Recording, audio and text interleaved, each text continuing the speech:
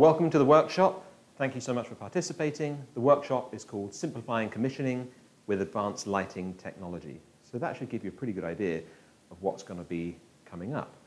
But in a nutshell, we're going to be showing you some amazing technology which speeds up the commissioning process dramatically, but also gives you some new tools to give you the exact ability you want to set up an installation just like you want it. You don't have to compromise. So, initially, big thank you to David Kriebel and LensVector for participating and partnering with us in this workshop. And we're going to hear from David Kriebel in the Q&A a bit later on. My name is Matthew Norse. I've been with remote control lighting for 10 years. I've seen a lot of stuff, and I'm going to touch on a few of those things a bit later on. Um, but first off, I want to give you a very brief introduction to who RCL is, and so why we exist. Well, let's go back 20 years. We're now 20 years old. 20 years ago, a lighting designer came to RCL's founder, Joe Ruston, and asked him for a solution to a problem project. An unusual project that we thought at that time, but what turned out to be a problem everywhere. She wanted pin spotting in a ballroom and came to Joe, as Joe is this whiz kid, and said, I need to be able to angle spotlights regularly, every day, sometimes more than once a day in the busy seasons like Christmas. But I can't get a genie lift in. These lights are 10 meters up in the ceiling or 30 feet. How do I do it? So Joe came up with this idea, which uses a remote control. You press the red button, it emits a laser, shine the laser onto the sensor, the sensor turns red, and now I can pan with left and right, tilt with the up and down buttons, and dim using these three buttons on the side. Around that time, DALI was also being used quite regularly. DALI was a dimming protocol, a digital dimming protocol, and it is very, very clever. It's easy to install, there are some good interfaces for it, but we're a moving lights company. So we were actually the first and probably the only company at that point to make moving lights which were controllable by DALI. The problem with DALI, though, is it's quite slow. Um, I would move a light in DALI, I'd have to wait maybe a second or even a fraction of a second for the light to move. And that makes it very tricky when you're just sort of pressing buttons or moving a slider to angle a spotlight exactly where you want it without over judging where you need to go. So we changed into a DALI dimming company then. DMX, however, had been used for years in the theatre space and was originally designed as a theatrical control system to unify the protocol that theatrical lighting products used. But DMX is crazy fast. It's almost real time, maybe 23 milliseconds, a new signal is sent. And what that means is I can move my DMX slider on a theatrical control desk and the light moves almost instantaneously. So it's actually quite easy because it feels like I'm moving the light almost with a piece of string. It's really good. However, the interfaces for DMX aren't great. They tend to be theatrical sliders. Um, not very good if you want to pan a fitting by moving a slider up and down. It's, it's not necessarily very intuitive. And we are, in many ways, not only a lighting manufacturer, but we're a controls company because we have a handheld remote to move our lights. The other problem with DMX we found is installations. Cabling of DMX, once done correctly, is super robust but it's not always done correctly. And actually, more often than not, we've found issues where certain parts of the world, maybe more than others, the cabling isn't the right cabling. They haven't connected the lights in the correct daisy chain string with the terminator resistor on the end. And so, although we loved DMX, we wanted to move away from it eventually. But at that point, DMX was the best port of call. So we created our own iPad app, which actually used DMX at its core. It's called iDirect. iDirect was a DMX-based control system which used an iPad to control the lights. How it worked very briefly is like this. I would tap on a fitting, I would then get a touchpad. I'd move my finger around the touchpad, the lights would move. I could use a dimmer on the side, and to select a light, I can even bring up a PDF floor plan of that space, zoom in to where I want to control, tap on a light, and do it all again. It was very, very good for the time, but it did have its limitations. One of the limitations was number of fixtures. It was only a single universe. It still always used DMX cabling, so unless you're guaranteed to have good DMX installations, it's not guaranteed to work perfectly well. In many cases, it absolutely did, but you are still reliant on having someone that knows what they're doing. The other one was interfacing with other control systems. If I was in a ballroom, and no matter how much I would love this to be the case, it's simply not the case that we're the only lights in that space. So you may have cove lighting, RGBW cove lighting, wall lights, maybe general illumination lights, and they're going to be controlled by another control system. We couldn't interface well with that control system. We could scale dim, but we couldn't recall scenes or anything advanced. So we wanted to go on to the next level. Enter a new app, RCL Control. RCL Control is an iPad app. It communicates by Wi-Fi to a network. And on that network, you have a mediator box, the RCL Control mediator box. But from that box to all of the lights, and from each of the lights to all the other lights, it is a thread mesh network. Thread is a protocol that works on 2.4 gigahertz, very similar to Wi-Fi, Bluetooth, Zigbee, Z-Wave, but Thread is incredibly advanced. It's super secure. It uses the Internet version 8 protocols level of security. All of the lights can automatically reconfigure themselves depending on the topology of that space you're in. Some lights can be repeaters and spread that information out to all the other lights. Some lights can just act as standard lights that receive a signal and do what they want. And it's also always bidirectional. How does the interface work? Well, this interface that you're looking at now in the bottom corner, or now full screen, shows two zones and seven areas. This is a hypothetical museum which we've just created for you, and my favorite gallery, because it's the only gallery with lights in, is the Ice Age gallery. So I'm going to tap in that gallery. This shows the full screen of that gallery, and I can actually zoom in to our lovely woolly mammoth. I can zoom into fixtures, and I can tap on the fixtures. I'm going to tap on the fixture which is next to me right now, number three. You'll see now that a control panel has appeared on the right-hand side. I want to turn the light on, so I'm going to tap on the dimmer slider and move my finger along. On the light comes. Pretty easy. If I want finer control of that dimming, I'm going to tap on the slider, bring my finger down, and now I get much finer granularity. This is probably a good time to admit that the camera setup we have, although I think is very good, doesn't do the lights justice, and so you'll have to take my word for it. It looks a lot better in real life than the webcams are showing it. But that's how we control the dimming level. If I want to move that spotlight, at the bottom right of that screen, I have the joystick commands. I can tap anywhere in that circle, doesn't have to be in the middle, and I'm going to drag my finger to the left, and you'll see the fitting move to the left. Drag it to the right, it'll move to the right. Same for up and for down, or any combination of those two. I can also move the light using the jog wheels. I find these pretty amazing.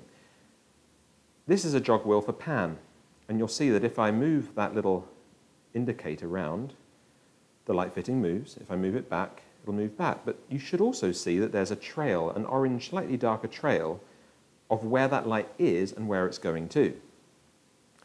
What that hopefully is telling you is that that fitting is talking back through the thread mesh network to the mediator box, to the iPad, and updating its current position and what it's doing. Why is that important? Well, it always tells the system where it is, and it means that I can take another iPad or even that humble, hum, humble, relatively dumb remote control, select the light with a laser, pan it round, and you're going to see it move on the screen. That's amazing. It means I can set up a giant space like we're fortunate enough to have. You know, we've done some ballrooms which are 700 fittings large, and we can set them all up with multiple people doing it. Speeds things up dramatically. For this though, I'm going to bring it back into the middle, and I'm going to use the tilt just to make sure that we're in the middle of the screen. Maybe a little bit more pan. Nice. This fitting is also a little bit more special because it has color temperature control. I can move my finger on the slider just like the dimmer slider and go from 2200 Kelvin all the way up to 4000 Kelvin. If I want finer control, I tap on that slider, bring my finger down, and now I have much, much finer control. Really cool if I'm setting up some art and I just want to get it perfect. It's really handy when you're dealing with a gallery that actually shows multiple types of art. Maybe not old masters and white, black and white photographs, but different types of art does need different color temperature of lighting to really make it shine. And in a commercial space where it's very important that the art looks its best, because that's the only reason it's there, it lets you tune that from where the clients will be looking at the art. Brilliant. You'll notice there's another tab next to the dimming, and that is beam angle control. This is where I get to talk about some amazing technology from LensVector. This is a LensVector panel. LensVector is a manufacturer of electronically adjustable liquid crystal optics. Depending on how you control the electricity passing through this two-layer sandwich of glass with a liquid crystal membrane, you can control the orientation of these tiny liquid crystal lenses and bend the light traveling through it. It's awesome technology, but let's have a look at it working. Using that same fitting next to me then. If I want to change the beam angle, I tap on beam, and now I have another control type. It's not a slider wheel, it's actually a pinch to zoom disc. I put two fingers on it, and I pull it back in, and you'll see the beam getting narrower.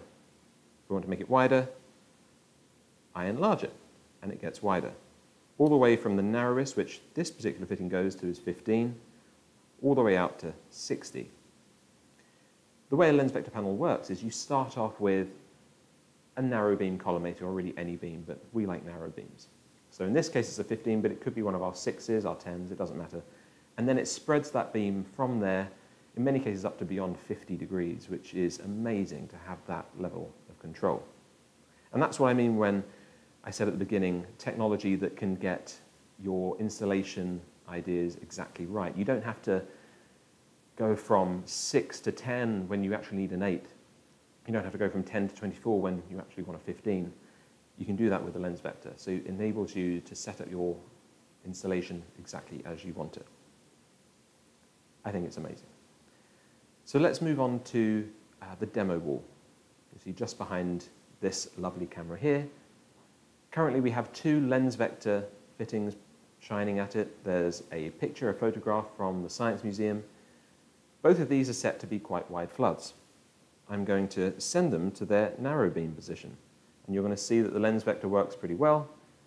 Both of these lights are now on their full intensity and narrow.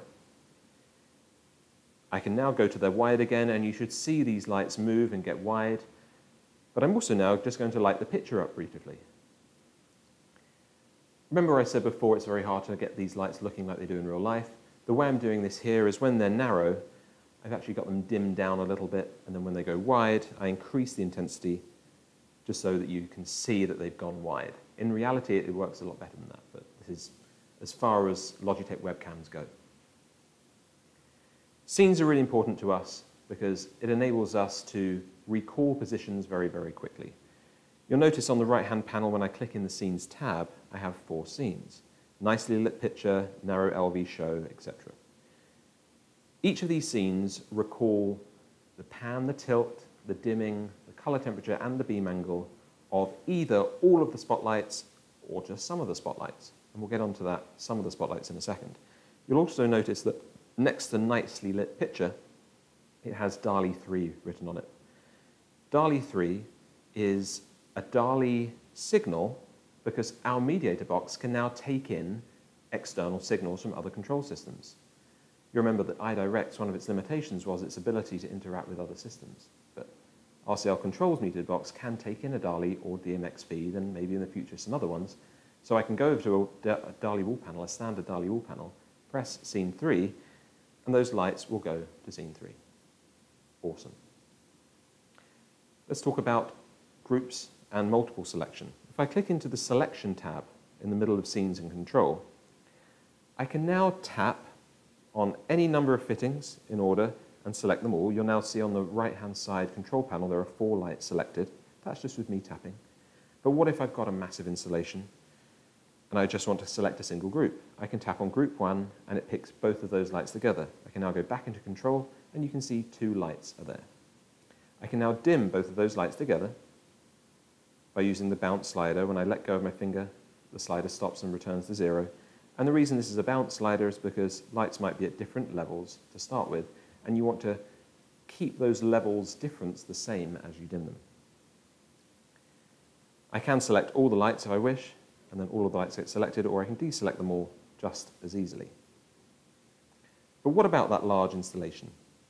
Well, our system works in bidirectional manners. So I can't have a fake installation with lights that don't exist because the iPad will shout at me and tell me how wrong I am.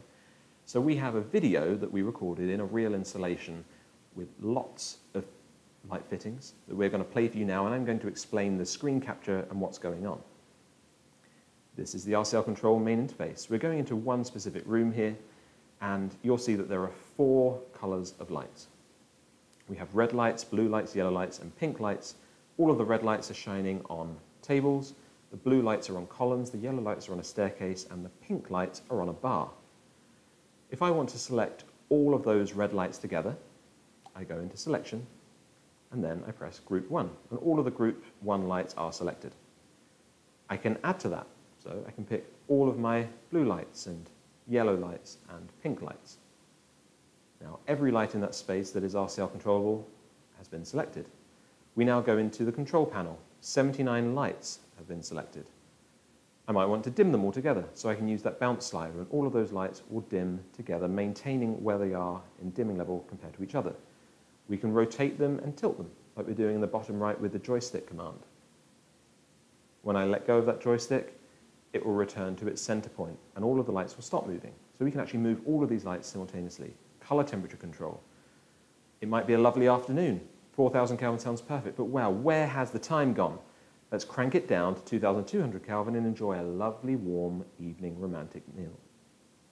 We can also control the beam angle of all of these lights together using the pinch to zoom disc in the beam angle control system.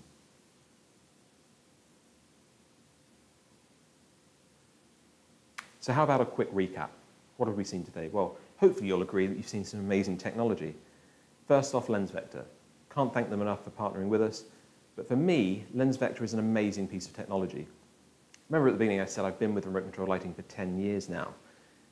I've actually been with remote control lighting kind of for 11 years because in my middle year of university, I came to work with RCL as a student and was fortunate enough to be sent all around the world. I would be sent up long ladders, high genie lifts, to help commission and set up light fittings, but also to meet people. And one thing I learned back then is no matter how cool it is to be able to move a spotlight from 30 feet up in the air from the floor with a remote, if I need to change the beam angle because the picture on the wall is suddenly a bit bigger, I'm going to have to go up and down the ladder again. So it stuck with me. What RCL really needs is variable beam control. So in my final year back at uni, before I came back to work for RCL, I actually designed a variable beam width LED lamp. That shows you how, in my core, variable beam width is. And LensVector now releases this amazing bit of technology, fully electronic liquid crystal beam control optic. And it's so thin, you know, it's probably five mil thick. And what that means for us is, without mechanically extending the length of the snoot or adding motors, multiple optics, we can change the beam angle from a narrow, say, 6 degree all the way out to 53 degree. Equally, in the future, and we can poke David about this in a minute on the Q&A, he suggested that very soon we might be able to control more than just the beam angle. We might be able to make a linear lens, a portrait lens. Great for wall washing, great for aiming at art, which is something I love doing most of all. And then, of course, RCL control. The third iteration of remote control lighting's ability to control our lights in one day, maybe others too.